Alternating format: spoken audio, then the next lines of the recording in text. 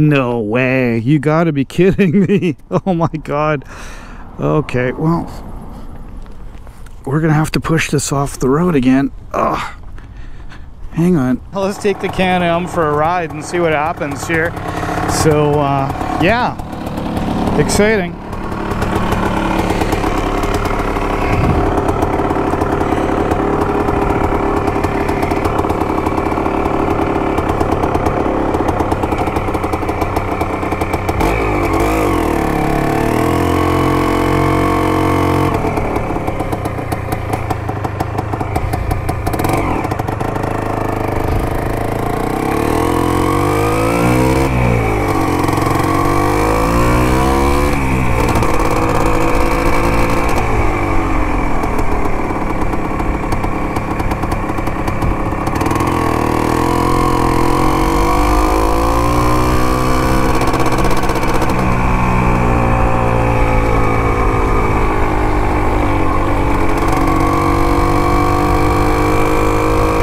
So far, so good. We're gonna see if we can get to the letterbox and uh, mail off this uh, unusable, unusable for me, uh, float seat. So uh, that's gonna be our initial mission here.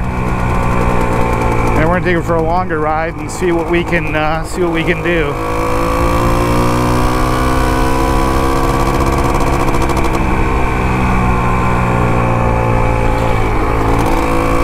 Last time I took the bike for a ride, I thought I had it good. I got about 10 miles and it died on me. So uh, we're gonna take it at least that far today and just see what happens. So there used to be a mailbox right over here. Yeah, looks like there still is. That's good. Nice. All right. Okay.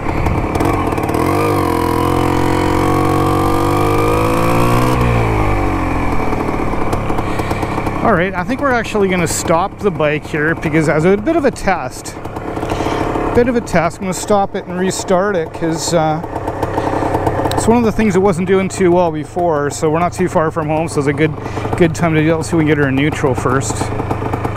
Here's neutral, nice, let's turn her off. All right, okay, let us pop this uh, Bing 84 uh, seat valve, seat valve, float needle into uh, into the mailbox here. Good old Canada Post. Okay, we're not going to show the address because I don't want to show this guy's address on there, but I'll I'll put it upside down. You can see my address. I don't care. Put it inside here, and it is off to North Carolina. Alrighty, let's get back on the bike and uh, let's hope it starts back up again and we'll go for a bit of a longer ride. This is a test ride. We've done a lot of work on the bike here as many of you know. We've uh, we've got the original tank on there um, but sealed it uh, cleaned it all up and uh, I've got Caswell's sealing it got the new decals on it got brand new fenders front and rear.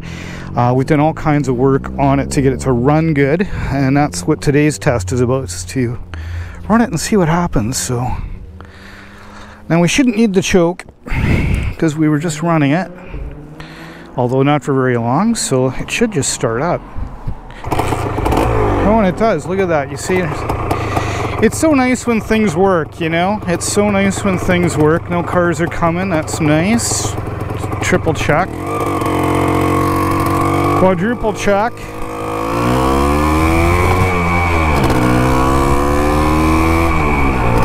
Already.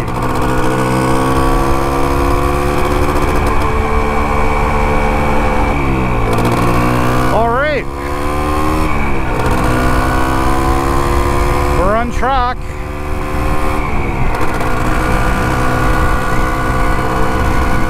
What a beautiful day.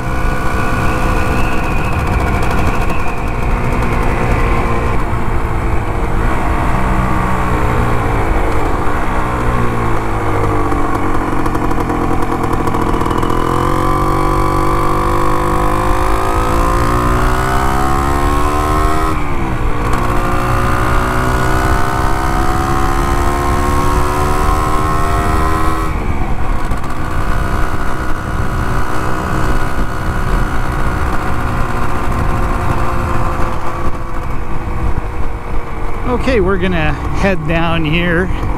This is the road kind of towards Pitt Lake. But we're not gonna go all the way to the lake. We're just gonna go and kind of cruise around some of these back roads, although it's uh, it's a little bit of a busier day today.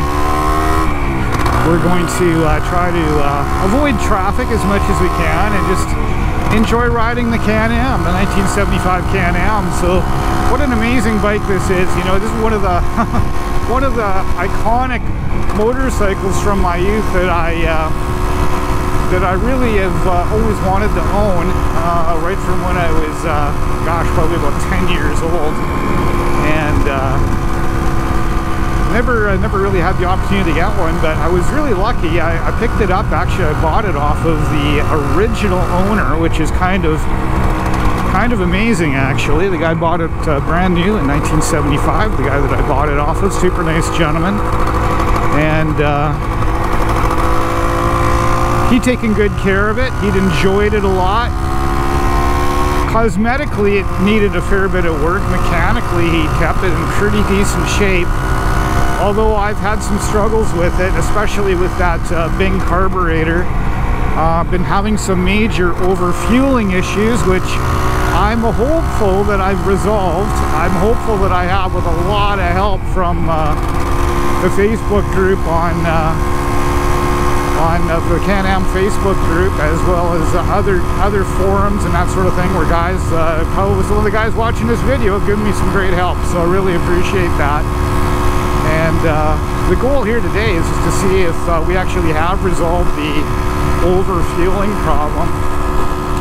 You know, I did a whole bunch of things. Initially, of course, just took the carburetor apart and cleaned the heck out of it, ultrasonically cleaned it, and uh, uh, you know, I cleaned all the jets, uh, you know, everything that you would do with any carburetor, put it back together, checked the float height, made sure it wasn't leaking fuel. At least I didn't think it was leaking fuel.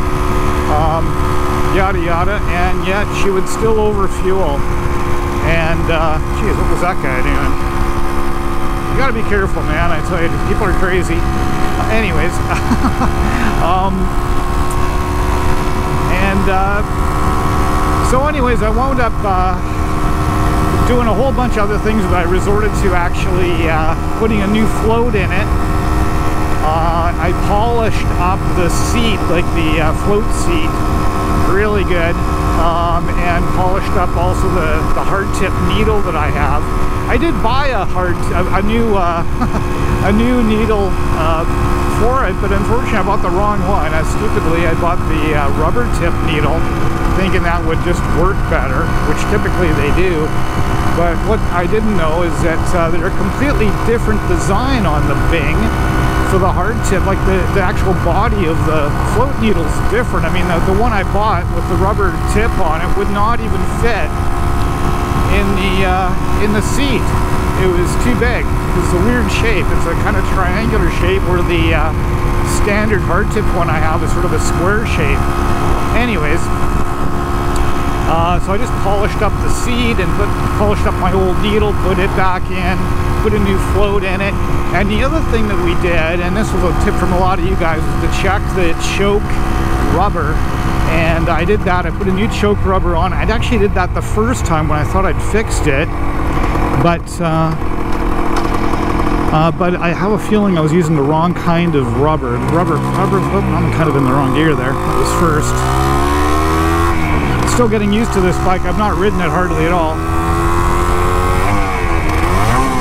Oh yeah.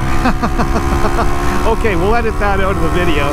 Um, and uh, but anyways, uh, I went and changed the uh, the rubber on the choke again this time with a uh, softer uh, rubber gasket material that I have. And actually, I've on order uh, some nitrile rubber, 1 8 inch thick, which uh, I didn't have. I've actually got something else in there at the moment, which I'm not sure how resistant the fuel is going to be over the long term, so I'm going to change that out. But between all of those things, I'm hopeful that I've cleaned, I've, I've solved the overfueling problem. So uh, that's what the purpose of this ride is. Last time, we made it about 10 miles and then it just died. So uh, irretrievably died from overfueling. Uh, and uh, so uh, we're just going to see what it does this time. And uh, so I'm going to take it for at least 10 miles and give it a go. I have the uh, I have my my girlfriend on standby who's going to come and rescue me with my truck if, uh, if the worst happens. Last time I didn't make prior preparations and wound up having to use uh, BCAA and waited for about two and a half hours for them to come and rescue me. It wasn't very good. So hopefully today that doesn't happen. I have to say the bike sounds a lot better. The one thing I did do, and I may need to change this, maybe you, know, you should probably not change too many things at once, but the one other thing I did, because it was overfueling, is I changed the uh, the needle height, it you know it's supposed to be on the uh, second notch from the top, and I changed it to run a bit leaner on the. Uh, there's another guy crossing the line. People are looking around, they're not looking at the road, I guess.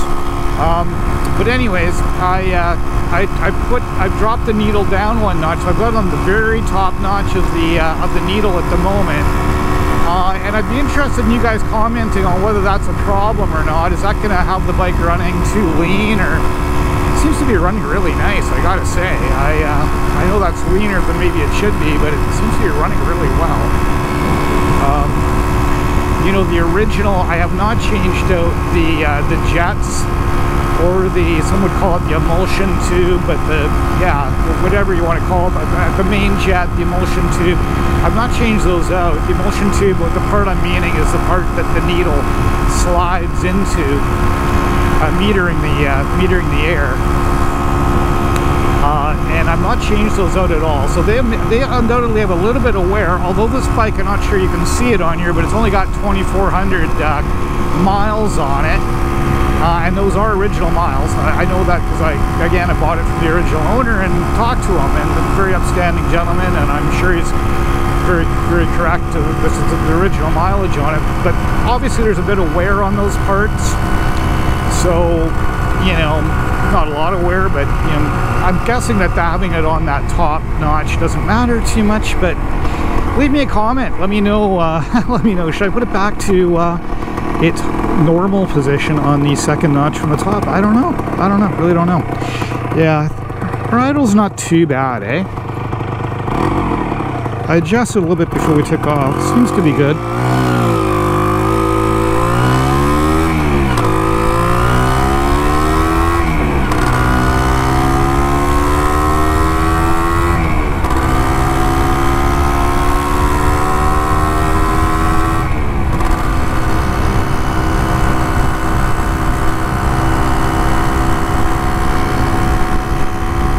Just a beautiful day for a ride. Really quite enjoying it. I put, uh, you know, I've done a bunch of things to this bike. I did put new mirrors on it. Uh, the mirrors that I got here, they're sort of a, an angular shape, and actually is the exact same mirrors that I put on my KLX uh, 250. And if you haven't seen those videos on the KLX 250 uh, review, uh, it might be fun to go watch those. Kind of cool quite different bike than this, although it's also an Enduro, but an Enduro 4-stroke and 2019 with fuel injection, so quite a bit different than this. But in any event, um, uh, I've got the same mirrors. I, I, put them on my KLX too, although my KLX didn't come with these.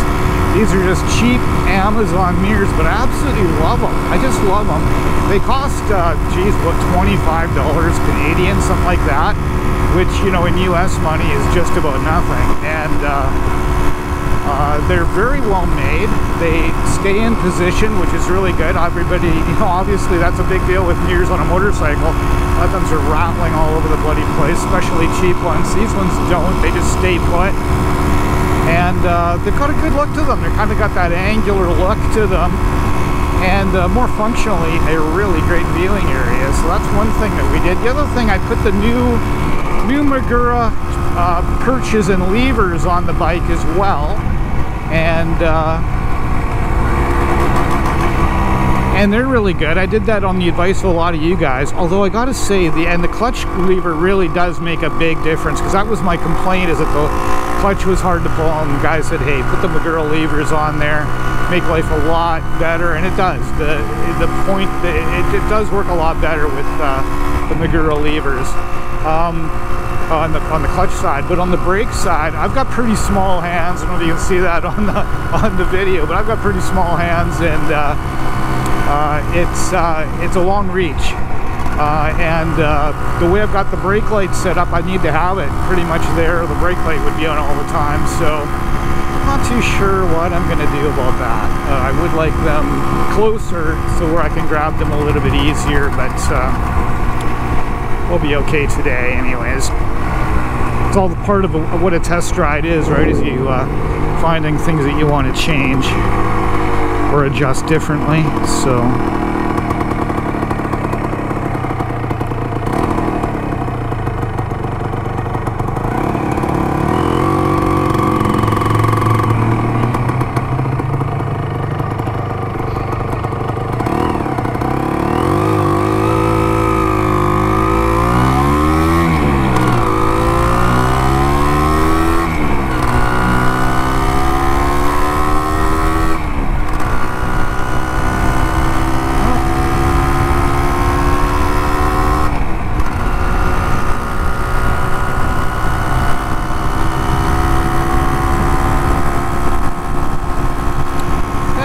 you're running really nice. Really nice so far. Maybe I should leave those comments until I get back home, eh? What do you figure? My tempting fate? Uh, so far, this is pretty much the same ride. In fact, this is the identical ride that we did uh, last time uh, where the bike uh, died. I didn't actually film that one. It was just my own test drive, but this is exactly the same route, minus minus the post box stop, but we didn't stop to mail uh, mail a letter last time. But other than that, is pretty much the same route that I went last time. And uh, I made it up to uh, the stoplight that we're going to get to up here, and then it, then it crapped out on me. So anything that we get past that is bonus time. So we'll see. Kind of funny that it made it this far last time, though. And you know, you'd think you'd make it this far. You know, it's roughly speaking about 10 miles uh, where it died. You'd think going that far, you know, you'd think it'd be golden, but uh, uh, it wasn't. It wasn't. And you know what I think it was? I mean, if I really had to put my, I mean, obviously I changed the float, did everything. You know what I think it was? I think it was actually that float, that choke plunger that was leaking, uh, leaking air, I guess. Um, yeah, feel free to correct me on that. But in any event, when it's in its home position, it was leaking and it was still fueling through the choke circuit a little bit and over time that 10 miles it just you know flooded the engine out. So that's my guess. Uh, but I could be wrong. It could have obviously been the float and float height too which you know uh, hard to know really. I think we're gonna pop her in neutral here if we can in neutral Oh, she died. No way. You got to be kidding me, really? Let's hope that this is exactly where we got last time. You got to be kidding me, really? We'll see. Um. No way. You got to be kidding me. Oh my god. Okay, well. We're going to have to push this off the road again. Oh. Hang on. You gotta be kidding me. This is literally exactly where I got last time. Well, actually, I got a few feet more. I actually got to the stop stoplight last time. What the bloody hell is going on here, guys? What the bloody hell? Okay, guys, well, I pushed it back. I pushed it back to uh, the, the, next street and uh, gave it a few more kicks and I got it going again. So was it my own paranoia? I don't know. It uh, didn't seem to want to start right away. You'd think it would want to start on the first kick, but uh, or first few kicks it didn't. And even when I got back here, I had to kick it a few times. I did not use choke at all um, to start it, purposely knowing it's well. At least I'm like 90% sure that it's overfueling is the issue. So we're going to continue with the ride and see what happens. I mean, wherever I get stranded, I get stranded. I, I you know, I've got uh, my rescue team on standby if need be. So I'm to take it down the end here and back down this little. Oh, and she dies. What the hell?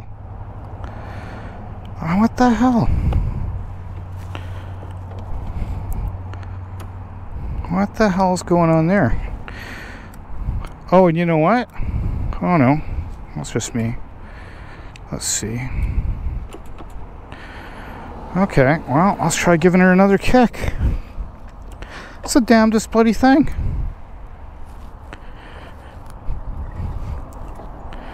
That is the damnedest thing. Okay, kick her over a few times.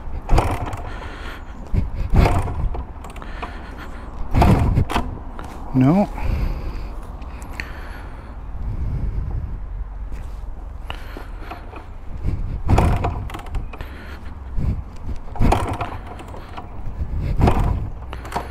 No, she doesn't want to go. What the hell is with that? What the bloody hell is going on here? That is the gosh darndest damn thing.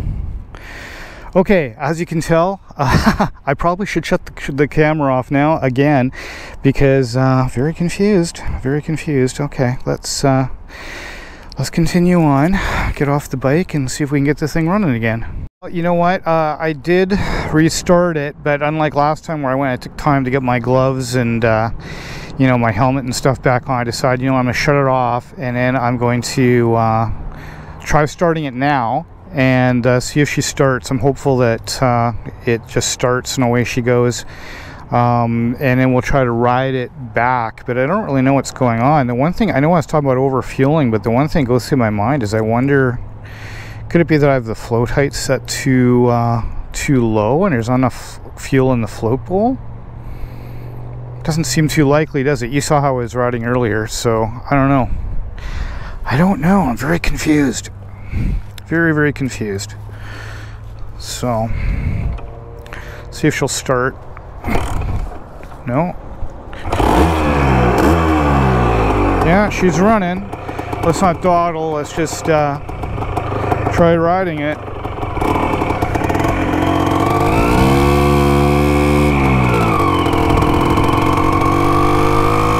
Alrighty, this is a dead end, so we're gonna turn around up here. I'm just, before I actually go out on the road, just wanna see if it's gonna run at all here.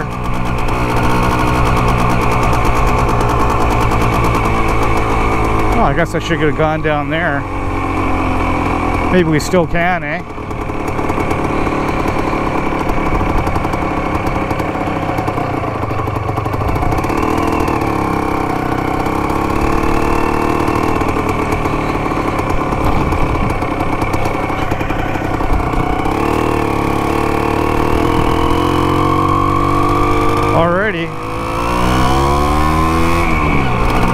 Do we trust it? Gosh, I don't know.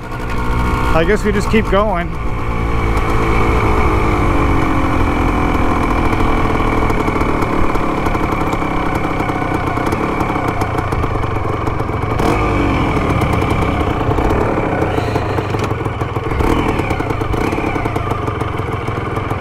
It's almost like the idle might be a little bit low.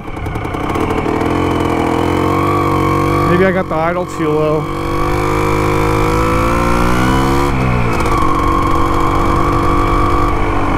Going to try to artificially keep it running here at the stoplight because I really don't want it to die here again. It's no fun when that happens.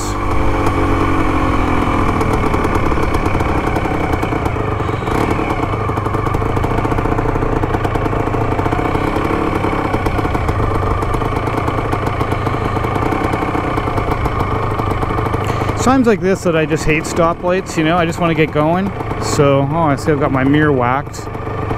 I guess I did that when I was moving it around. Oh no, she fucking died again on me. Fuck. Well, let's try starting it again.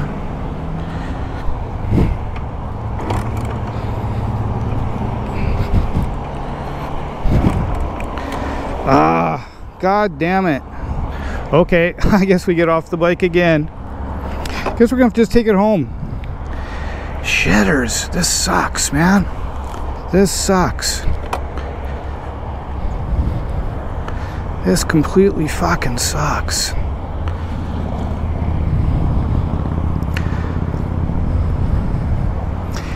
Thanks, guys. All right, well, we're not going to go that way again. Let's just stop and turn the key off.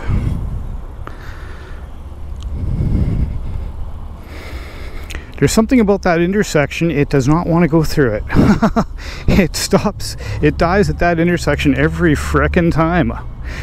What the hell is going on here? I don't know.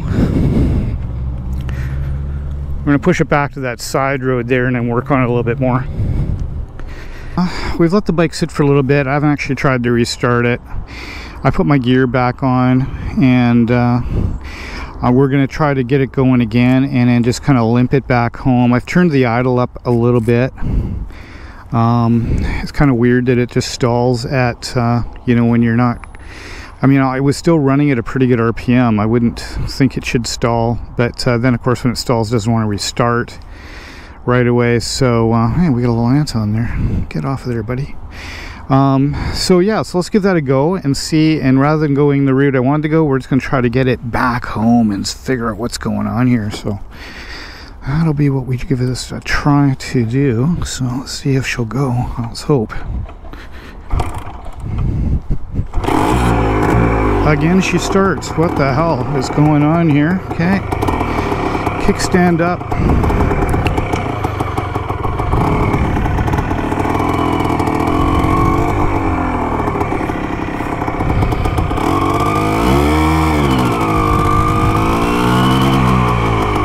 Going to dilly-dally around here too much.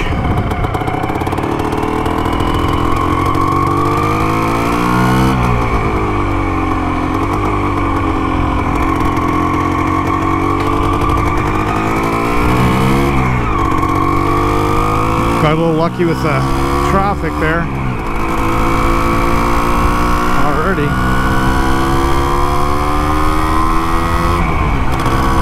Try to open it up so you guys can see what she's doing. Like, what's with that? It runs good here now. What the hell? What the hell is going on, man?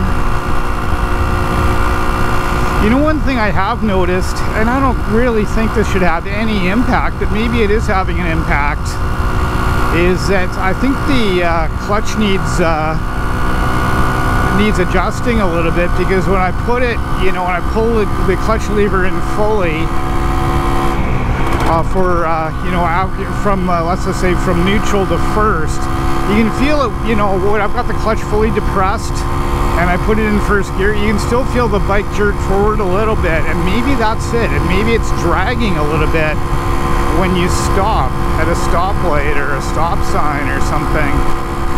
Could that possibly be it?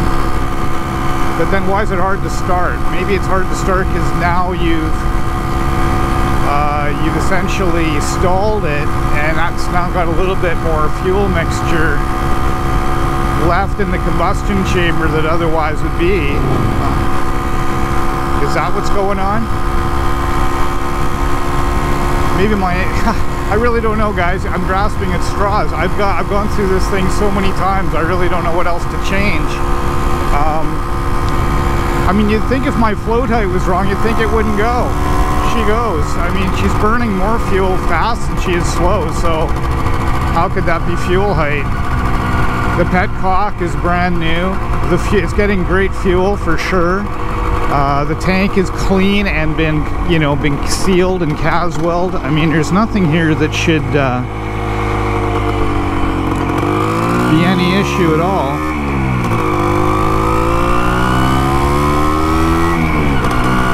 And yet she seems to run good now. So I don't know. Um,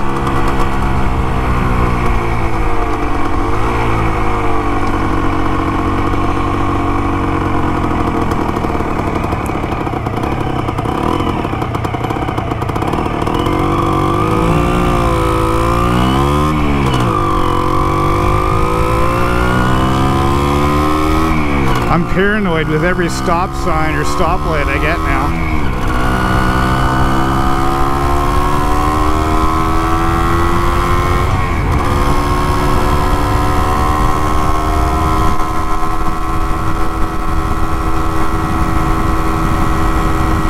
I don't know. I really don't know. You know what guys, you can see I need a lot of help on this one, so please do uh, leave a comment, okay? Please let, leave a comment and let me know what you think this might be. Uh, I really don't think, I mean, one of the things, some of the things that you guys might think of is, well, maybe it's a spark issue. I, you know what, I don't think it is. I've checked the spark and uh, on the good advice, advice of a number of you, I checked the ohms readings on the stator and for the life of me, I can't remember what they are while I'm riding the bike here, but I looked them up and they're exactly in spec, like right in the middle of where the, the good is on those items. Uh, every time I've checked spark, I have good spark. I've tried uh, the trick of moving the spark plug wire around, thinking maybe there's an intermittent spark issue, no issue. But then if you think about it, uh, you know, wouldn't it just die equally randomly as I'm going straight down the road at speed, uh, rather than just at a stop sign or stoplight? So it's not, I think we can rule Spark out. I really think we can. Uh, it's got the proper B8ES NGK spark plug in it, old school, that is unobtainium now. Uh, gapped correctly. Um, so what the hell else could this be, man? I, I really don't know. Um,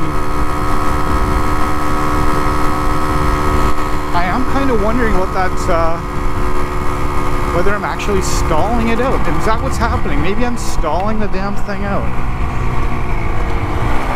And maybe the fact it's stalled out is what keeps it from wanting to start up again because stalling it out means that it's got too, too rich a mixture in the combustion chamber. You know, I think I'm talking myself into that scenario.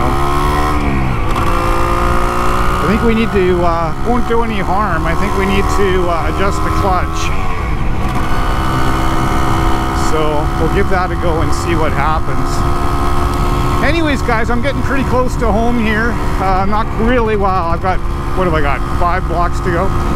But, uh, but a bit of unexciting riding for you guys to watch. So I think this is what this uh, video is long enough now. So I think we'll wrap this one up. Um, first off, I just want to thank you guys for those that are still watching. Thanks so much for uh, watching my crazy video here. I really appreciate it.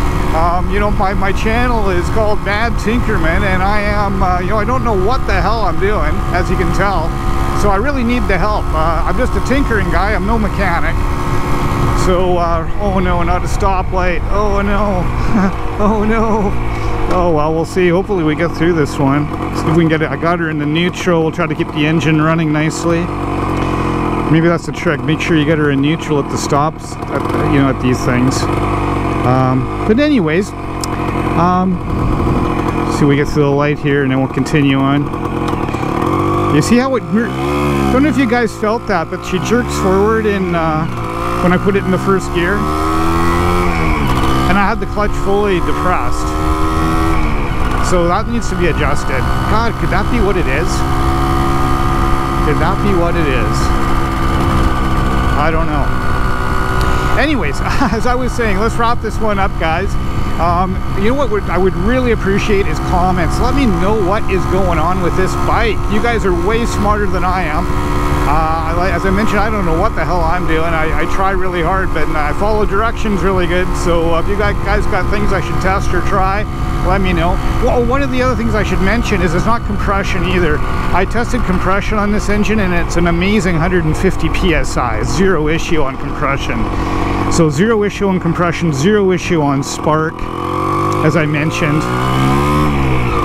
Um, yeah, I've mentioned all the things that I've done on, it, but I think I've covered the bases enough for you guys to know, rule out some of the things that it might be. Um, and uh, anyways, uh, what I would really appreciate, guys, uh, leave a comment. Let me know what's going on with this the bike. And uh, please subscribe. I could really use some more subscribers. Um, subscriptions, if you don't know, uh, cost zero. They cost nothing. It's essentially just a, a bookmark that allows you to come back to my channel if you want to.